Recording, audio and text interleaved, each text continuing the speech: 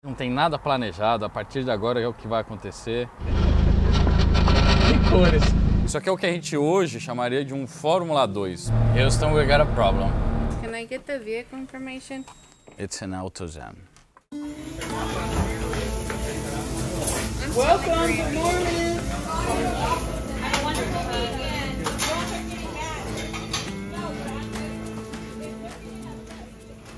Bom, vamos lá. A gente vai fazer uma primeira viagem de umas 30 milhas, uma viagem de teste, certo? Na verdade não tem nada planejado, a partir de agora é o que vai acontecer. 36 minutos, 40 milhas. 40 milhas. Bom, vamos lá. Ligar esse ar. Vamos ligar no alto aqui porque tá bem quente. Depois a gente diminui um pouco. Ai meu Deus. Bora. Viagem de teste. Para onde a gente vai? Para Hennessy. Hennessy Performance. Que aqui no Texas, a gente está do lado deles aqui em Houston. E você deve conhecer alguns carros, tem carros recordistas, né? Eles têm a, a Raptor, a Velociraptor, a Mamute. Tem umas modificações que eles fazem dos Lotus, enfim. Hennessy é bem conhecido na parte de performance. E eles não fazem só motor, eles fazem os carros também, né? E são bem famosos aqui. Então, como está muito perto,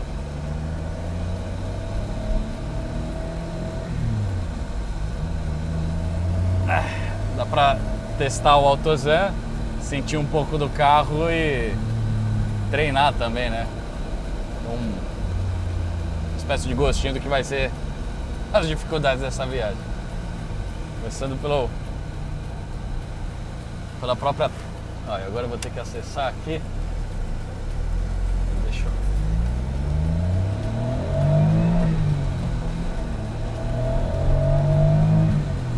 Tá vendo? É, Eu tô acelerando até uns 5 mil rotações e o carro só tá crescendo, né? É o suficiente, já entro na terceira. Isso é legal de ter um câmbio bem escalonado e um motor que gira ao mesmo tempo, né? Ahn, por isso que eu também estou dizendo que esse carro ele não tem só 60 cavalos, mas nem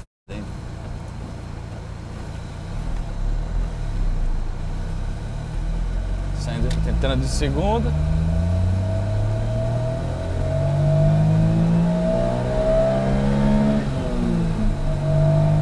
Dá pra ver o estourinho da turbeira. E o carro ele começa a ficar meio meio arisco, né? As pequenas correções que você faz, o carro movimenta muito. Isso é um sinal de agilidade, de baixo peso, de roda pequena, de aro pequeno, mas também de carro desalinhado. E eu não sei exatamente qual dessas coisas que eu falei é o que está causando. Ó, ah! Você não vira nada o volante, o cara já muda de faixa, mano. É. Complicado, mano. Aí eu tô usando um Waze aqui. Já vi que eu vou ter que comprar um suporte de celular. Vou ter um Waze aqui no par... Se o carro perder pressão de óleo, eu verifiquei o nível, mas se o carro perder pressão de óleo eu não vou saber, porque tá bem em cima das, das luzes de... de. de indicação aí. Ai caralho, tinha um carro aí. Agora eu tô entrando numa rodovia. Eu tenho que acelerar, quando você acelera o carro começa a ficar arisco. Ah! E agora começa começa a aventura, cara. Olha, ó. Ó o meu vício de ficar na encostado assim, ó. Quando eu tô do lado aqui, eu tenho o vício de botar a roda esquerda em cima da faixa aqui do lado esquerdo, né? E, enfim. Barulho de. Eu acho que é de pneu, na verdade. Parece de rolamento, mas não é, de pneu. Ó, mudou o asfalto, mudou o barulho. Aí. Tem- Passa uma tarro do seu lado. O carro é muito grande, mano. Ó, isso aqui, ó, é uma série 5, uma F10. Ou não, seria uma série 3. Parece ela tão grande. Não, é uma F10 mesmo.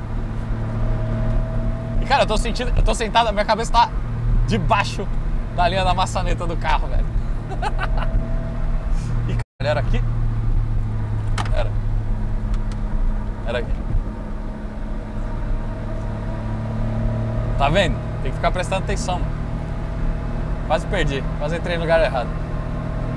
E eu tô agora a. Ó, o limite é 65 milhas.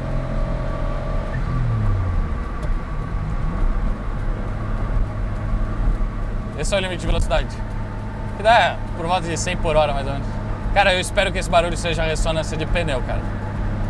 E não rolamento de câmbio, alguma coisa assim.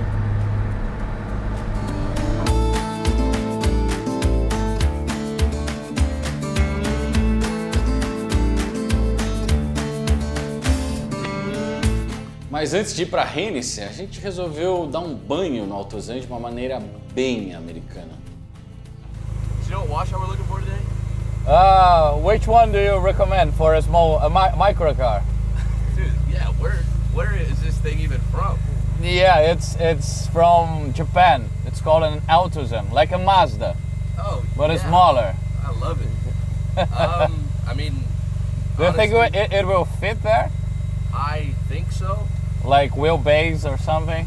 Yeah, it's just one wheel that it takes. Just one wheel? so. Okay. Maybe I should call my manager. No, if you think it, that there is no think- problem, I'm gonna go through. Yeah, I think it'll be good. Ok, ok then.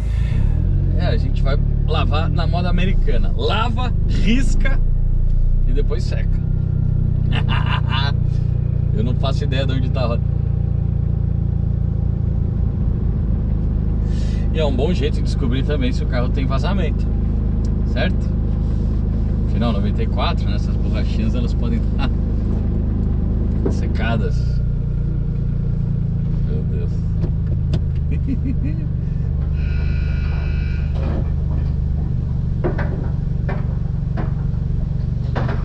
Ah! Isso tá começando a ficar um pouco assustador.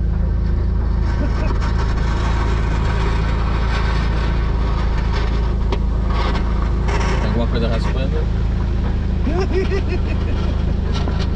Que cores!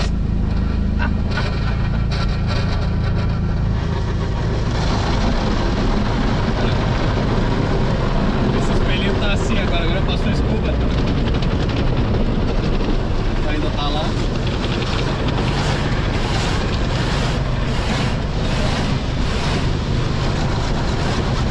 Ahá! Falei! Viu? Tá vazando.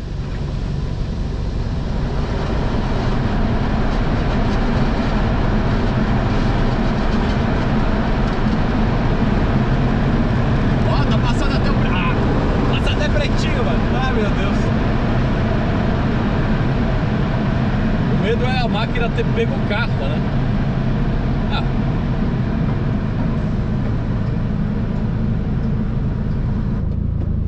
Nada mal. Ah, vamos ver como é que ficou lá fora?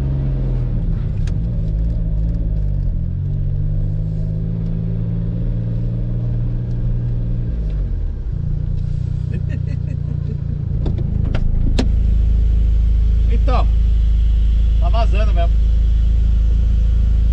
O vazamento tá aqui assim, ó. Tá até sujo ali agora que eu vi. Do outro lado igualzinho, no mesmo lugar. Eu achei que ia perder o espelhinho. Mas ainda tá aí.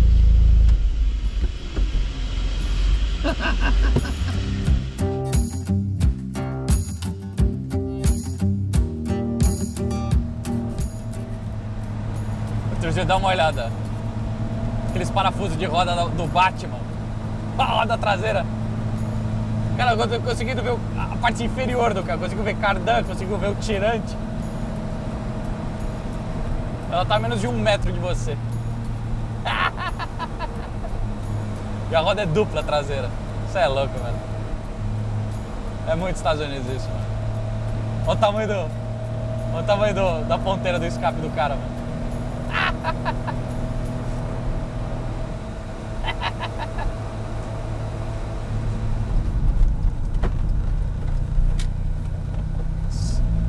Eu já ia pra cá. Só que não, a mão tá aqui. Eu tenho que trocar a marcha. Ah, tenho que, tenho que usar a esquerda. Que isso? What the fuck? Acho que o tiozinho não gosta da gente não.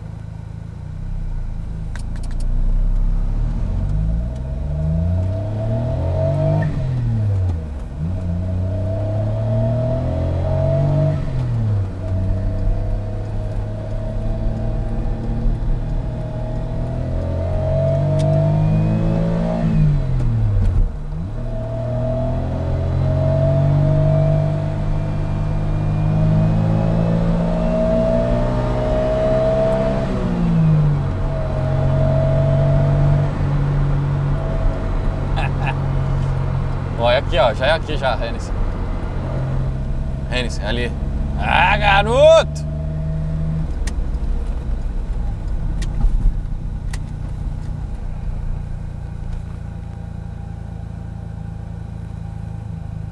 É, tem um aviso de propriedade privada. Eu tô no Texas, né? Exatamente. Só no Brasil mesmo que a gente chega nos lugares e as, e as pessoas prontamente atendem a gente. Come and take it. Certo, será que a gente consegue? Não, né? Tá com cadeado ali no portão. Tá cadeado no portão? Será que é aqui a entrada? Ou a gente tá na entrada errada? Não, seria aqui. Certo? Ou não?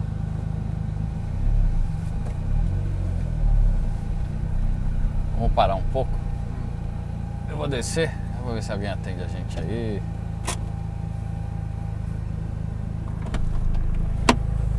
Talvez pelo horário já.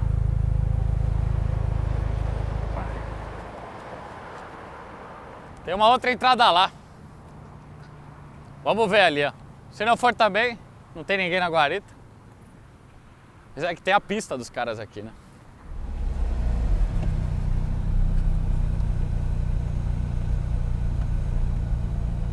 Tá fechado.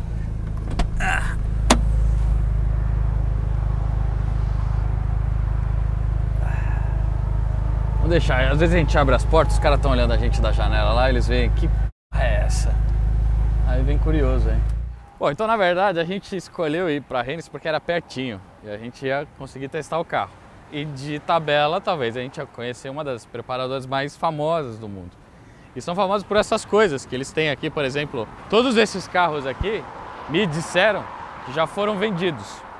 E aqui basicamente é um mar de F-150, 150 Raptor, aquelas GMC Tahoe, só caminhonete que eles modificam, tanto na parte de performance, mas também é, suspensão, estética, eles fazem também bastante.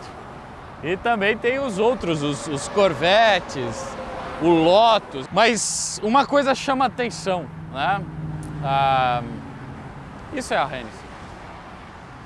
Esse galpão de fábrica aqui, parecido com um galpão lá da João Dias, lá de São Paulo, na zona industrial velha de São Paulo, né? Na beira, os carros na grama, tem muito glamour, não é que nem a Pagani, né? Que comparação, nada a ver, eu acabei de fazer, mas é simples, né?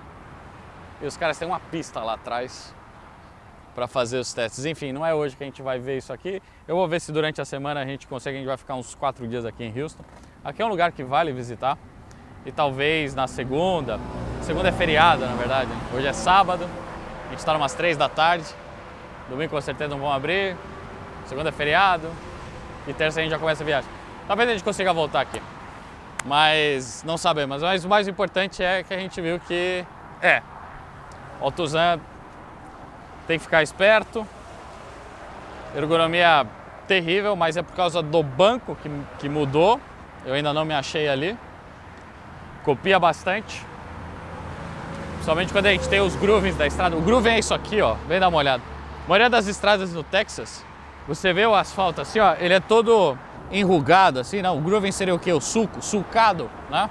E quando o grooving tá nesse sentido, no sentido da rodovia, às vezes a máquina fez umas curvas assim, ó, e quando o grooving ele vai para direita, o carro também vai assim. Aí, enfim, ele copia bastante, né? E não é hoje que a gente vai visitar a Hennessy.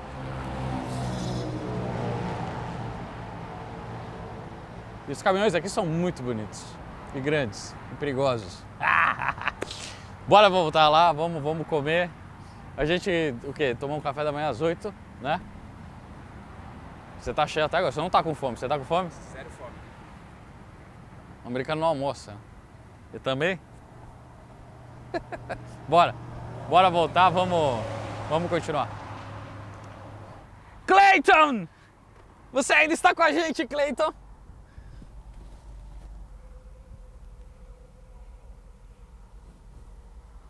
É o Clayton, o Arthurzinho que deu o nome. Ele tá com a gente desde Katy, onde a gente saiu, onde ele entrou. Quando eu, quando eu conheci ele, ele era verde e agora ele tá marrom. E a gente deixou esse carro, a gente ficou gravando esse carro aqui umas 4 horas com, com porta aberta, tudo, e o Clayton gosta do Autozan. Clayton é um entusiasta automotivo. E é o terceiro passageiro aqui. da Nostromo, né? Bora! Se a gente vai quebrar um semeixo aqui.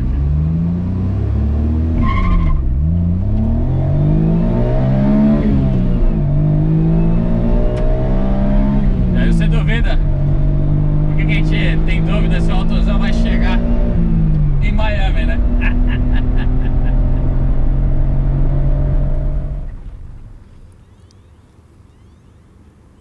Sabe uma coisa que eu notei?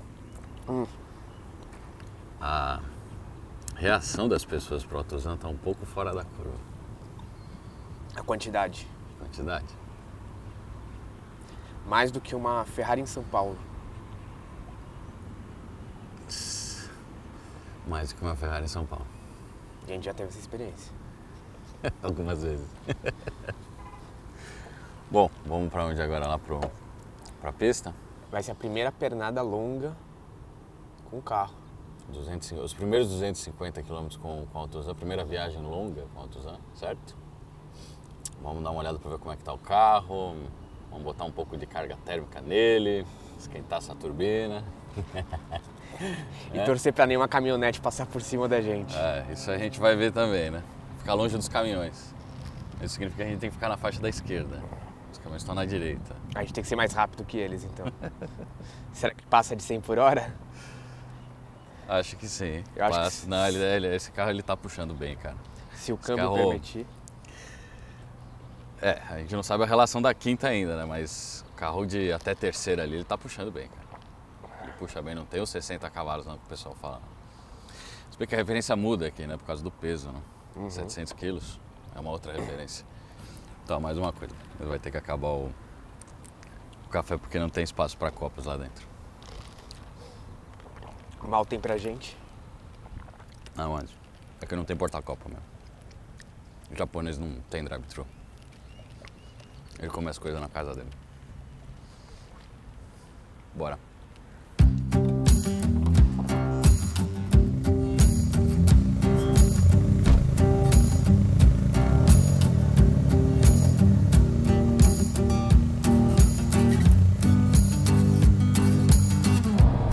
Começando a entrar na- no, no- na- no cambiamento com a mão esquerda, né? Isso.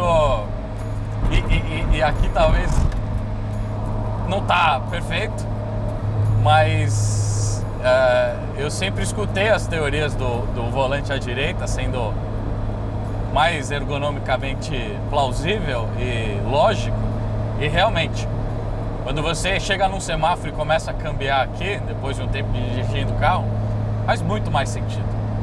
Né? Pelo menos se você for destro. Talvez se você fosse canhoto. Né? Mas, enfim. Existem mais destros no mundo do que canhotos. E existem menos carros no mundo em direção direta. A coisa tá invertida, tá ligado? Sim. Eu acho que é isso. É... é, mas isso é só o início.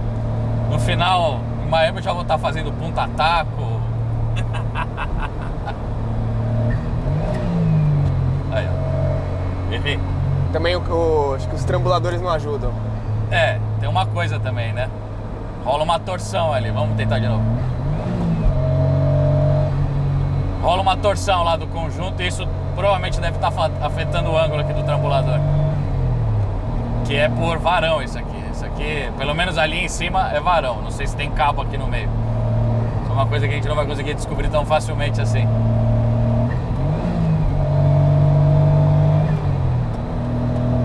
Mas, mas começa a fazer sentido. Muito sentido. Muito sentido. E por último também, a coisa é que você dirige um carro de volante à direita em, em mão europeia, né? Não em mão imperial. É, agora eu estou começando a, a- a me acostumar a ficar próximo da faixa. Porque eu tô. Antes o meu cérebro tava jogando o carro para pro meio da faixa. Pra Pra eu ficar referência aqui. aonde eu fico, ó. Vou entrar agora aqui, ó. Pra eu ficar aqui, ó. Aonde eu fico quando eu tô do lado esquerdo. Que é próximo dessa faixa. Essa faixa tá passando mais perto de mim. Você tá em cima dela agora. Isso aí. É. É um treinamento cerebral. Falta. Ah, só cinco milhas. É, já estamos quase lá.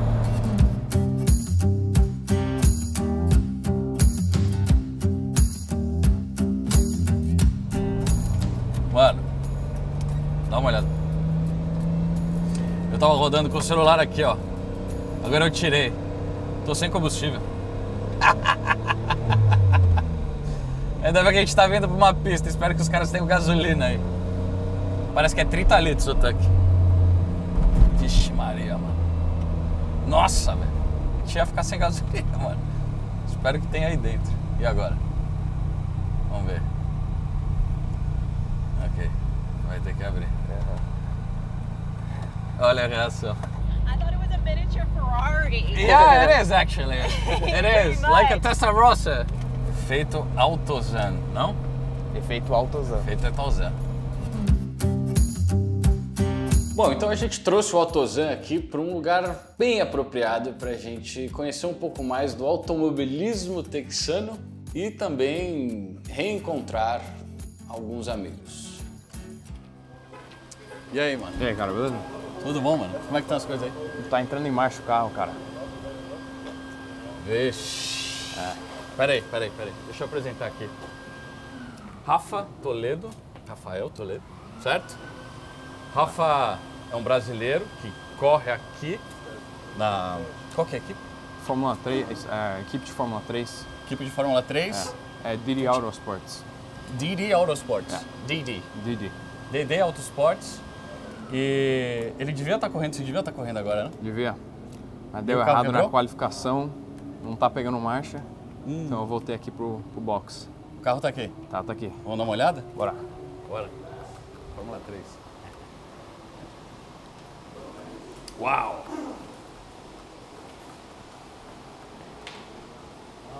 O carro tá aqui. Meu nome ali. Hã? Mazda. Hã? Isso é um sinal. Nossa, como é baixo, cara. É, bem baixo.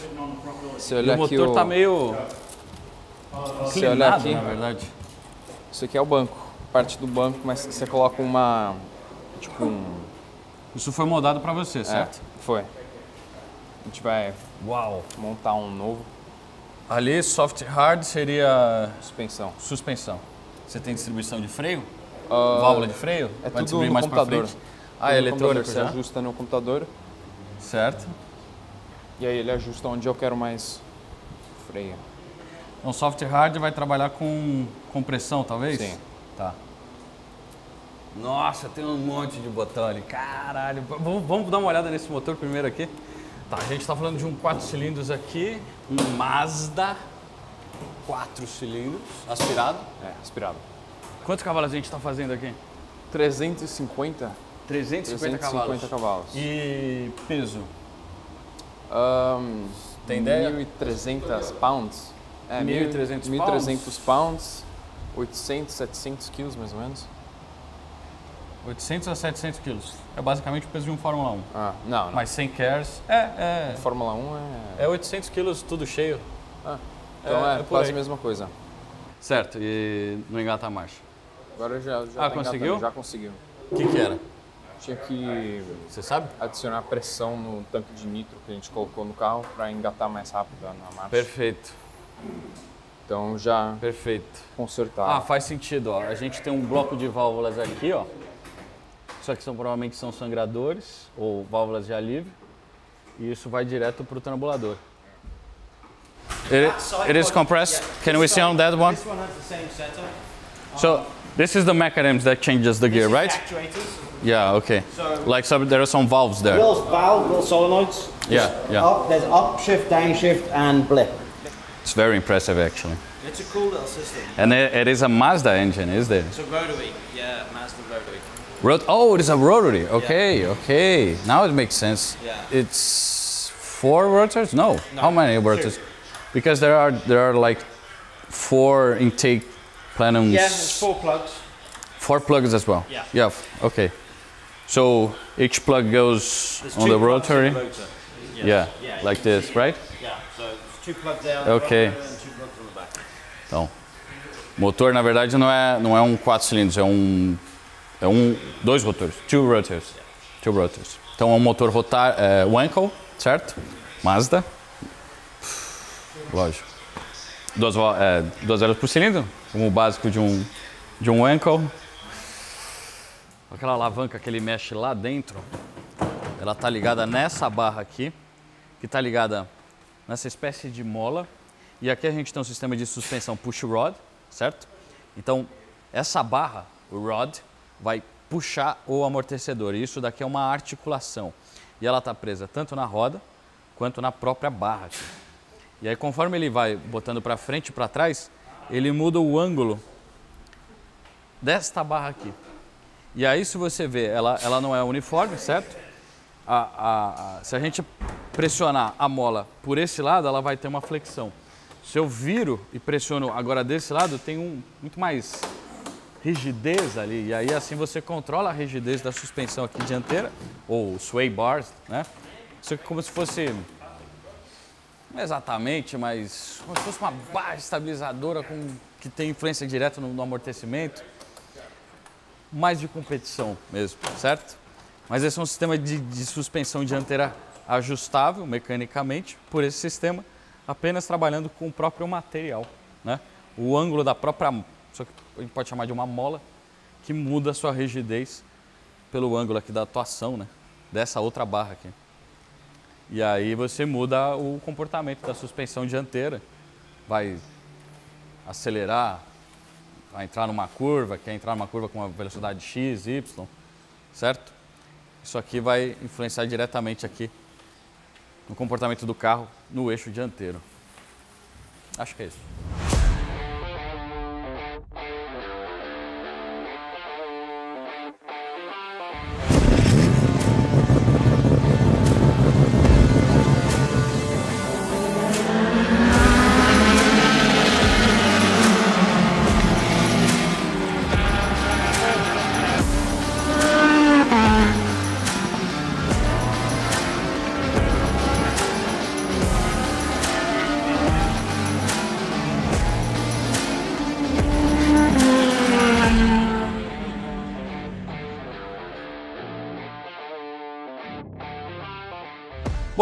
Então depois de resolver o problema das trocas de marcha, basicamente foi dar uma carga no sistema do cilindro que armazena ali a pressão. O pessoal botou os carros na pista e teve mais uma etapa do campeonato regional que eles estão tendo ali. Carros super diferentes competindo ao mesmo tempo.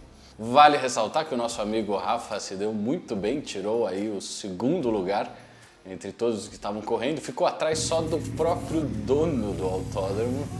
E depois da prova, a gente aproveitou para visitar a garagem dele e conhecer um dos brinquedos que ele escondia lá. Dá uma olhada. Ok, mas tem coisas, tem coisas estranhas aqui, certo?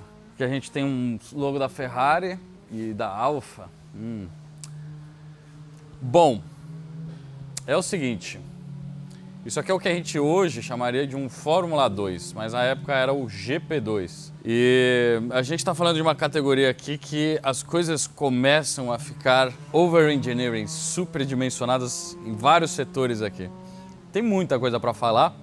Eu conheço 5% desse carro, que foi o que eu consegui conversar com, com o mecânico, o Darren, que, tá, que, tá, que é o curador disso tudo, né? Mas tem muitas coisas que eu bato o olho e já consigo traduzir. Ah, olha, cara. Bom, vamos começar aqui do que interessa, né? Já vamos começar do motor. E esse aqui é um V8. Então, na verdade, ó, a gente está com o carro desmontado e ele está fazendo um serviço de embreagem, certo? Aqui está o motor, aqui está o output shaft do próprio motor. Olha, já mexendo nas coisas aqui dos outros. Aqui fica a embreagem, né? E esse daqui é a própria transmissão do carro. E olha assim, a, a- a primeira coisa que chama a atenção é a própria fundição das peças, né? Não é nada adaptado aqui, é tudo feito para o carro, né? e, bom, enfim, a gente está falando aqui de um V8 aspirado de 4 litros, que está produzindo aí por volta dos seus 600 e alguma coisa cavalos. A gente nunca sabe o, o número certo.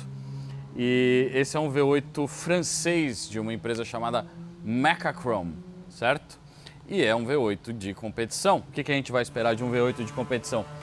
Borboletas individuais. Eu tenho aqui ó, o mecanismo do acelerador, indo em duas hastes.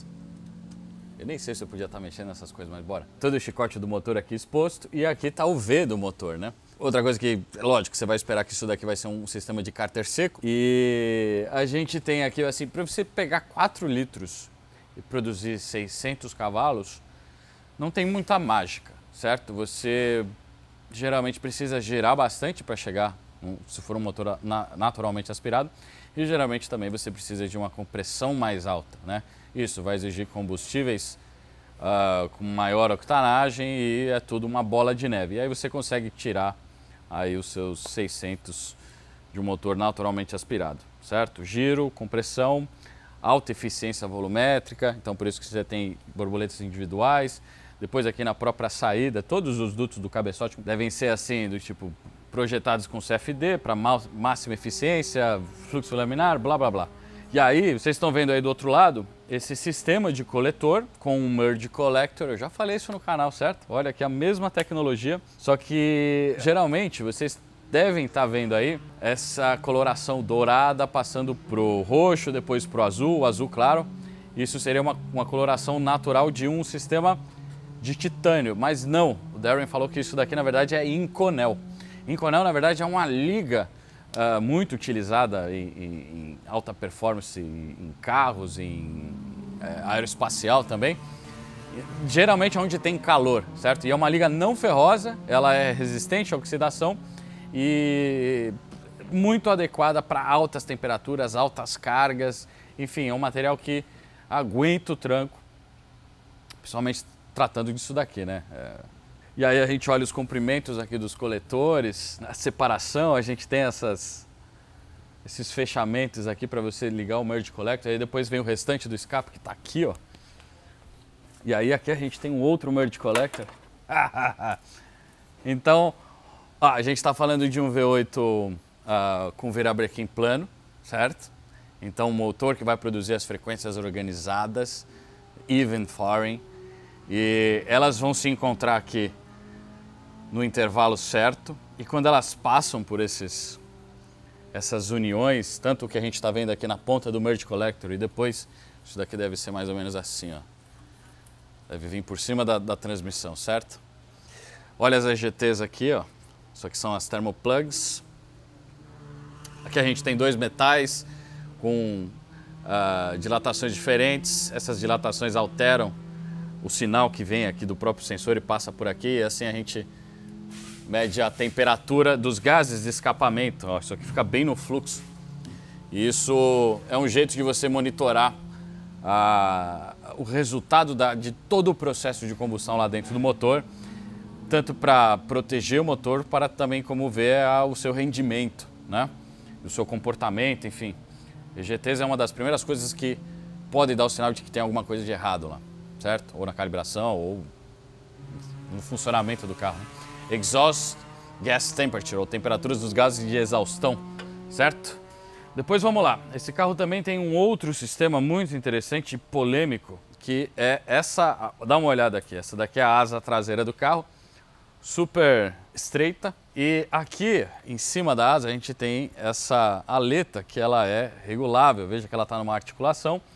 E aqui a gente tem um, uma outra articulação para prender isso daqui, ó. Deixa eu ver se eu consigo pegar aqui. Isso vai preso ali, certo? Essa meia-lua fica aqui.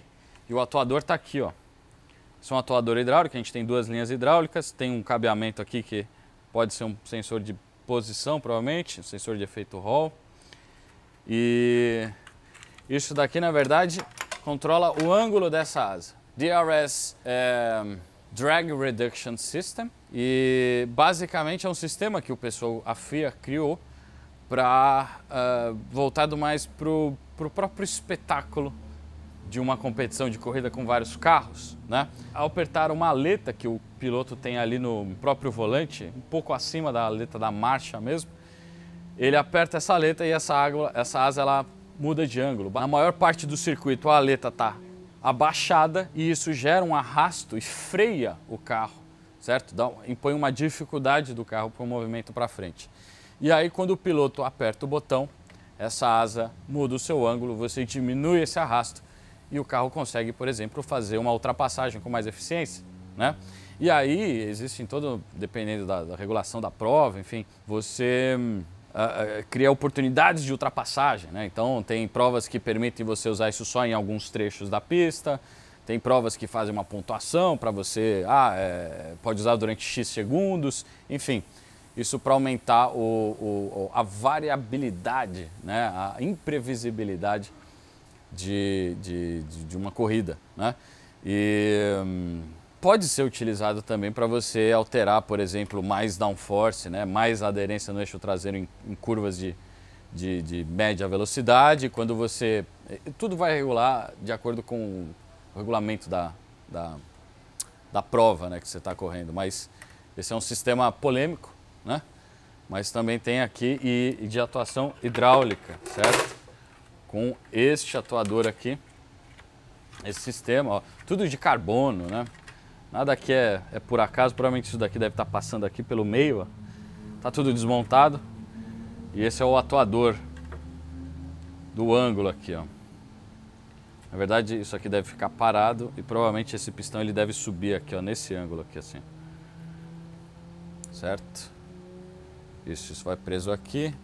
E o pistão deve estar preso nessa ponta aqui aqui, ó.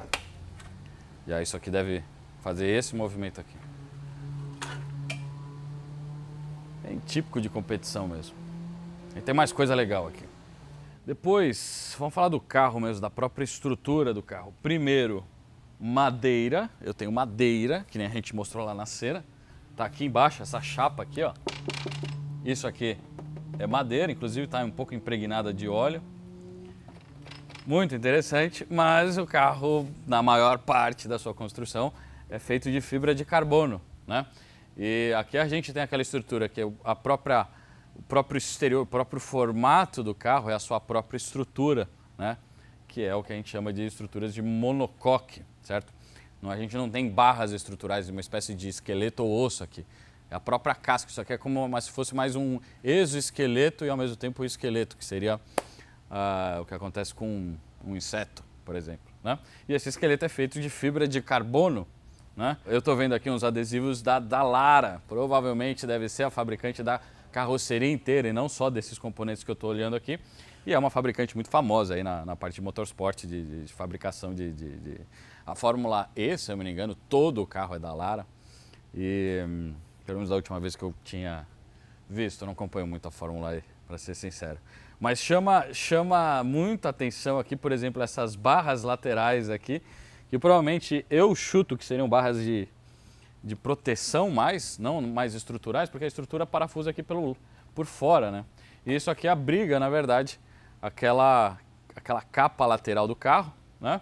Que externamente vai ter uma função aerodinâmica, mas também para tapar e proteger esses componentes aqui de arrefecimento, né? Radiador gigantesco, eu tenho um igual do outro lado, e esse é todo duto de captação com... Ó, tem mais alguma coisa aqui. Ah, esse aqui é o rádio. Esse é o rádio do carro, tá aqui embaixo. E, enfim, esse é o duto de captação do ar aqui para conduzir para os radiadores. E são radiadores da Dalara. Provavelmente o carro inteiro é da Dalara. Enfim, aqui eu tenho um trocador de calor Vou chutar que seria do óleo, certo? Então, ó, Vou ter. É isso aí, ó. Entrada, saída, entrada, saída. Óleo e água.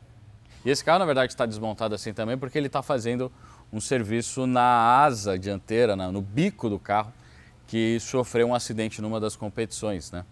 E aí eles encomendam essas peças da Europa, tem que ser feita sobre medida, não tem na prateleira, e demora e custa caro, bem caro. Quanto? 18 mil dólares, um bico. Um para-choque de 18 mil dólares. Você deu aquele totozinho, deu uma trincadinha, tem que trocar tudo. E você reclamando do seu funileiro aí, né? e aí aqui, ó, voltando ainda pro motor, é, desse lado que eu falei, essa é a bomba de óleo do sistema de coleção do cárter seco. Aqui vai a embreagem que eles estão trocando. É uma embreagem de fibra de carbono e o Darren falou que essa é uma embreagem de umas 5 polegadas mais ou menos. Então a embreagem é desse tamanho. E embreagens desses carros aqui, na verdade, é só para você iniciar o movimento, né? Quando o carro está parado no box, aí você vai sair, aí você inicia o movimento. Depois, as próprias trocas de marchas, né? Esses câmbios assim, automatizados, sequenciais, etc. Elas são feitas com, com casando a rotação do motor com a velocidade da roda, né? Então, o próprio carro faz o punta-taco, dependendo da, da, da faixa que você está ali de velocidade, e as marchas trocam sem você fazer a atuação ali pelo, pelo, pelo pedal da embreagem, na verdade será a aleta da embreagem ali em cima, né? Só para o carro iniciar o movimento mesmo, que ela existe, né? E aí, cara, tem muita coisa legal aqui. Eu podia. Pena que o tempo é, é curto aqui, mas tem tanta coisa legal aqui.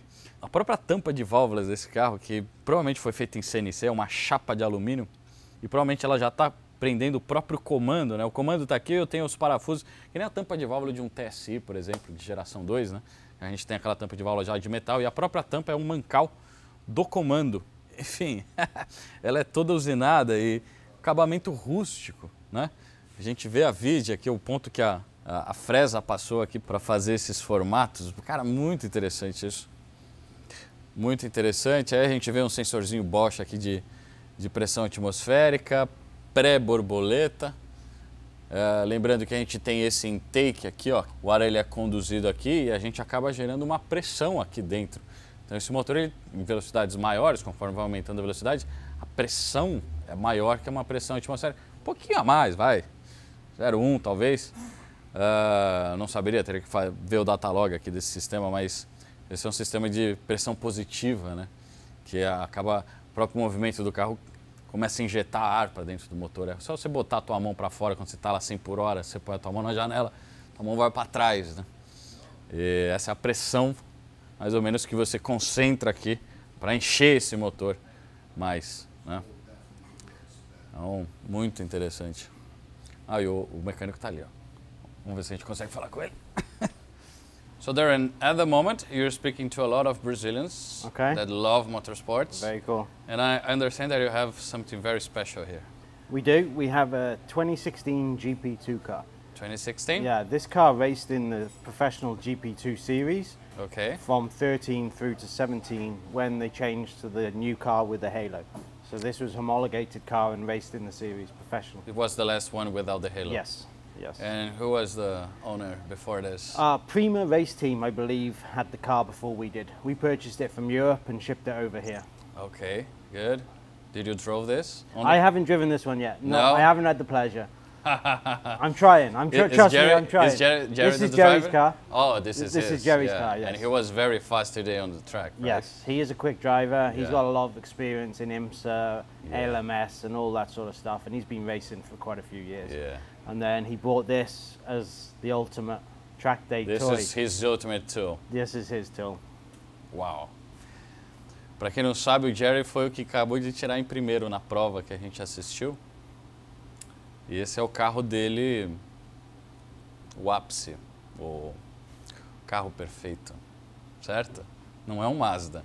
What, what- the engine is, is Uh, French, this is a French engine built by Mechachrome. Mechachrome. Yeah, Mechachrome still build the race engines for the GP2 cars, but they are now turbo, I believe. Whereas this is They are thrower right now, yes, not so more the V8. This is normally aspirated. Doesn't sound as Rafa, good. good job, buddy. I'll Rafa, see you again. Congratulations. And uh, say goodbye to the Brazilians. Oh, viu? Ele fala em português. Eu tô no modo inglês aí. Parabéns, mano. So, uh, when did they switch to the turbos?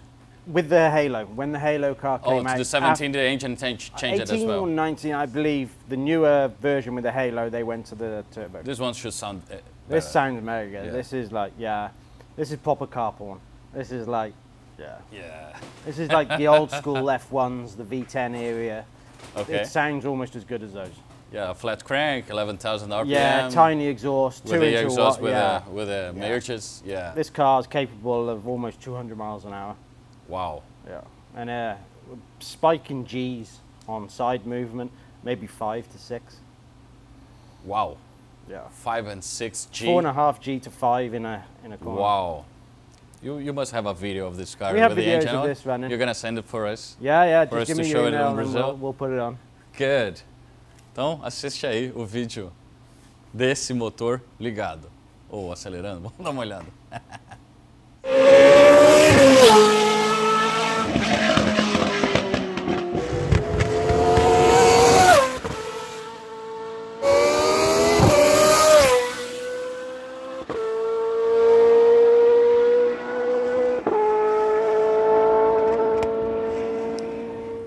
a great machine running. Congratulations. Very impressive shot Thank you you, have had. And project as well. Ok, vamos fazer o primeiro abastecimento do Autozan. Vamos dar uma olhada aqui quem tem de gasolina aqui. Comparar com o Brasil. Bom, aqui a gente abre o tanque e não tem frentista, né? O pessoal não sabe disso. Olha como a gente compra gasolina aqui nos Estados Unidos, certo? Não tem comum, aditivada e sei lá o que. O principal número que eles mostram é octanas. Isso porque cada motor, aqui a gente não tem a plaquinha, cada motor pode requerer, dependendo da sua construção, da sua concepção, gasolinas com diferentes octanas. E eu não faço ideia de qual seja a octanagem mínima requerida pelo motor Suzuki F6A aqui do nosso Autozan. Mas eu não vou arriscar. Aí eu tiro e vou escolher 93 octanas, que é a gasolina que tem a maior octanagem aqui do Autozan. Aí você vem e me pergunta: Puxa, gasolina do Brasil deve ser uma porcaria, né? Na verdade, não. Apesar de a gente estar falando aqui de AKI, seria ROM mais MON dividido por 2, 93 octanas, 87, 89, 93. A 89 que a gente tem aqui é equivalente à nossa comum lá. 6 galões. Eu não sei se está funcionando. Deixa eu só dar uma olhada lá no ponteiro se ele subiu. Não faço ideia. 6 galões? Não faço ideia. A gasolina, isso aqui seria equivalente a uma comum de octanagem. E 93 não é nem perto do que a gente tem na Podium e na Ultra Pro, que seria 97 e 96. Então, de certa forma, a gasolina do Brasil é superior à gasolina que a gente encontra no Texas, no coração da indústria petroleira americana. Hã? Nada mal, hein? Pensa nisso.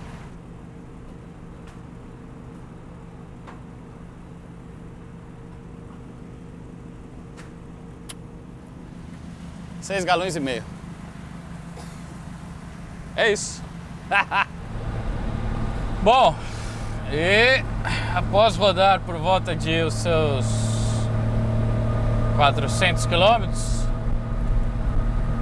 com o Autozan nós começamos a ter os primeiros problemas. Eu tenho duas luzes acesas no painel agora. A primeira luz é uma luz amarela com um símbolo de um escapamento e uma temperatura. Eu acredito que possa ser algum tipo de sensor de EGT ou sonda. Não faço ideia como é que funciona o sistema elétrico desse carro. ah, de gestão lá da, da ECU, não sei, eu, eu acredito que ele nem tomada tenha, e, não- e que nem eu falei, ele não tem luz de injeção, esse carro, tem só essa luz de catalisador. E do outro lado, eu tenho uma outra luz que também é complicada, que é uma luz de bateria vermelha acesa, e as duas estão presentes. Mas o carro não está perdendo potência, o ar condicionado está gelando e eu não, eu não acho que esse carro tenha mais de uma correia. E é, elas estão acesas. Então, não acho que seja tipo uma correia estourada. E não vejo o carro ficando fraco. Enfim, não sei o que está acontecendo. A temperatura, pelo menos do motor, está controlada, não está subindo, não está nada. Se for alternador que não esteja carregando essa seja tipo a luz piloto, eu posso estar rodando só com o que restou de suco lá na bateria até ela acabar e o carro começar a ficar fraco. Geralmente a ventilação aqui, o motor começa a ficar mais devagar, o carro começa a falhar porque não tem ah, energia lá para ignição. Esses seriam os sintomas. É, não ia ser uma viagem perfeita, né? Bom, acho que a gente vai morrer. Ó. Ah não. Ó. O carro tá estranho. Capaz da gente morrer em breve. Bateria. É. Ó, não tá mais acelerando.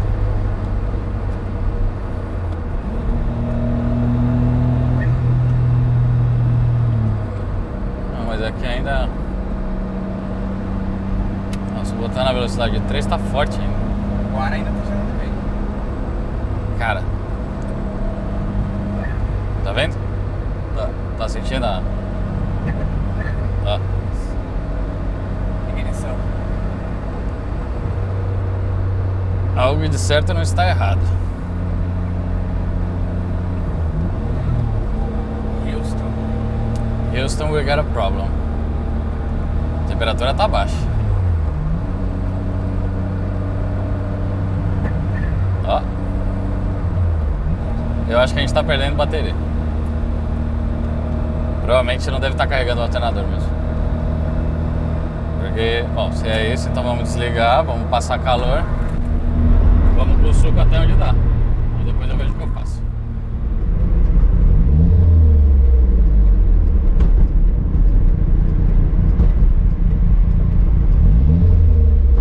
O carro tá bem estranho. Provavelmente a tensão deve estar despencando.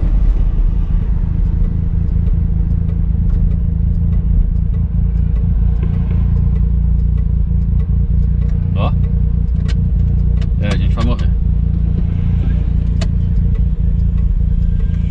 Quase sem energia.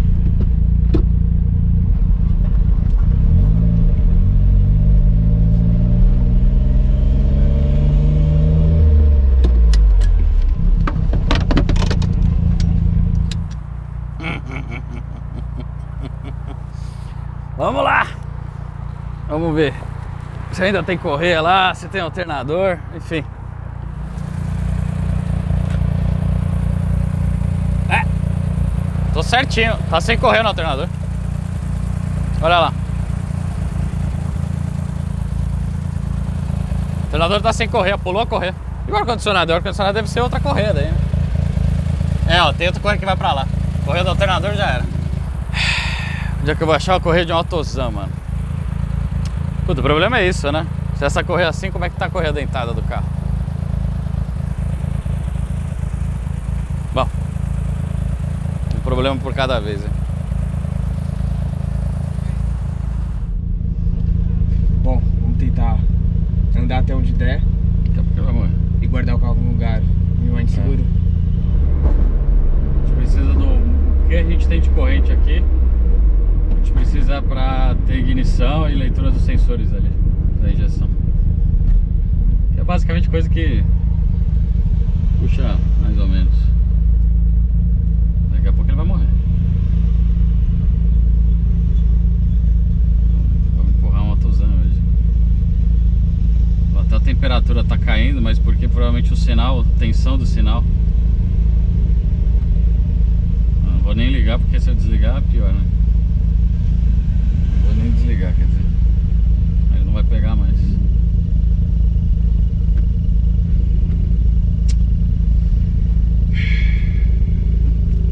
Será que a gente consegue? Tomara que seja uma correia Um padrão. de carro velho.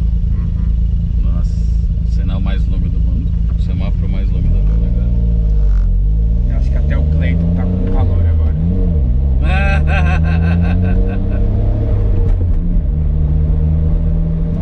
Bom desses motores mais velhos é que é tudo quase analógico, né? Com exceção do sistema de ignição e os bicos ali para dar aquela batidinha. Não tem acelerador eletrônico, não tem Valvetronic, não tem variador de pleno de 812. Ah, chegamos? Não acredito. E ele tá quase morrendo. Porque, mano, eu vou te confessar, cara, eu acho que eu vi essa correia pulando. No retrovisor. Não. Quando a gente tava saindo do autódromo.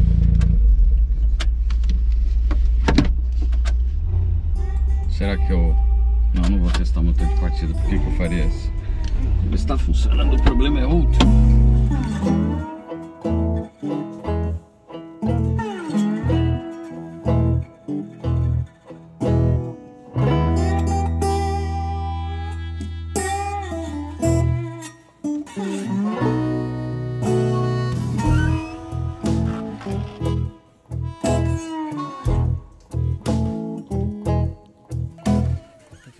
Acho que é polegada. Não, mas tem milímetros também. Lá deve ser 12 ou 14. O japonês tem medo do 13, então eles não fazem parafuso nos 13. E eu estou falando sério, carro japonês não tem parafuso 13. É 12 ou 14 lá. Talvez essa, mas vamos ver primeiro se tem a correia, senão não adianta nada.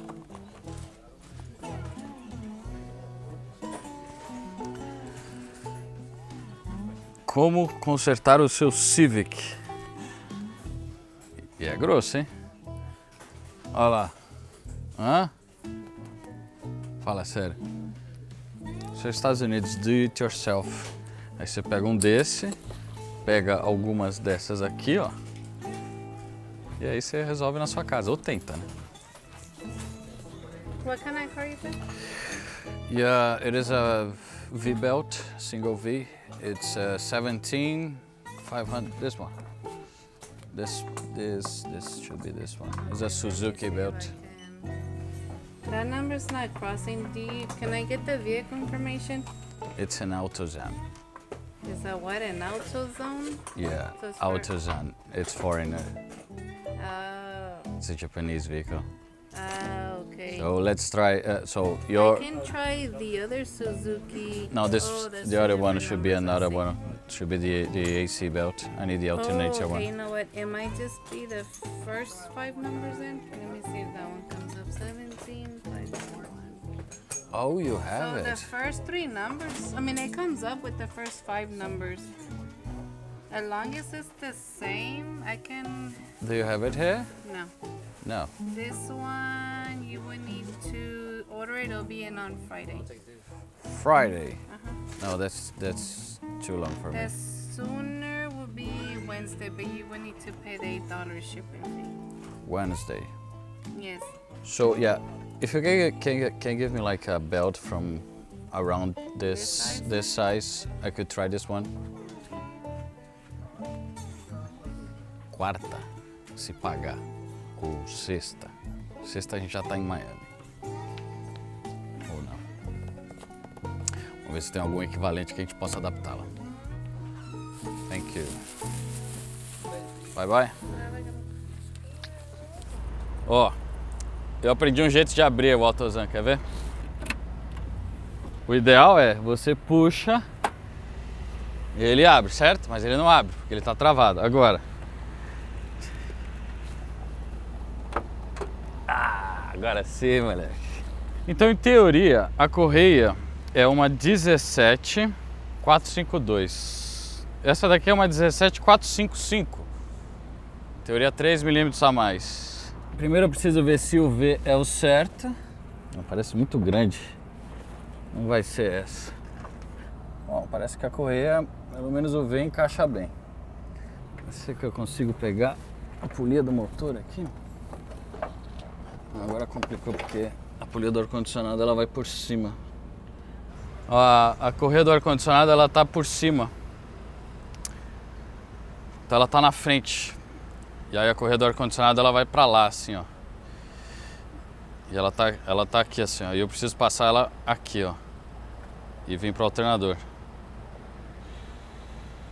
E para soltar do ar-condicionado não adianta, vai ter que ser por baixo. Se fosse só do alternador, eu conseguia soltar por aqui, ó. Então, vamos precisar de um, de um elevador, não adianta.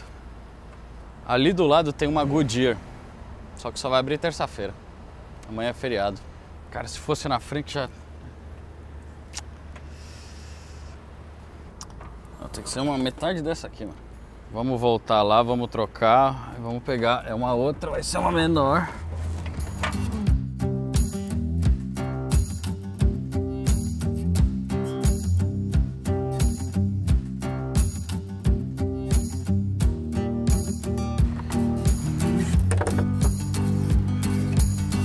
Bom, então o que, que eu fiz? Como o carro consome muita pouca energia, consegui uma outra bateria ali. Eu vou trocar. Consegui também um battery charger. E a gente conseguiu falar com o Darren lá. E ele falou que ele vai receber amanhã, gente. E aí eu tenho dois problemas. O primeiro que eu preciso resolver agora, que é esse carro no estacionamento da loja. Os caras já estão olhando, freio. Então, o que eu vou fazer eu vou mudar, porque o problema agora não é mais combustível, e sim energia, certo? Que nem um carro elétrico. Então eu vou trocar a bateria do Autozan, vou botar essa que tem mais carga, que permite eu andar. Nossa, que porcaria de ferramenta que eu comprei. E aí a gente vai andar até o hotel, vou deixar as duas carregando e depois amanhã eu vou dirigindo pro Darwin, que aí eu resolvo o segundo problema, que é o custo do guincho aqui, que é caro também. Certo? Bom, o problema urgente de tirar o carro do estacionamento está resolvido. Agora vamos para casa, vamos carregar a bateria e planejar amanhã tentar chegar de novo na pista, que é 200 km, um pouquinho menos, 160 ida só. Mas é isso aí, certo? Então bora, bora continuar. Então vamos lá, o que, que a gente fez? Vamos utilizar o AutoZan com a mesma limitação que um carro elétrico tem, que é pela limitação das baterias. Como eu não tenho mais alternador enchendo a caixa d'água, a caixa d'água só está baixando. É uma caixa d'água nova, tá cheia, comprei na loja. E agora eu tô com a outra bateria do carro aqui nos pés e comprei um carregador de bateria. Eu vou ter uma bateria maior que não é não serve no suporte.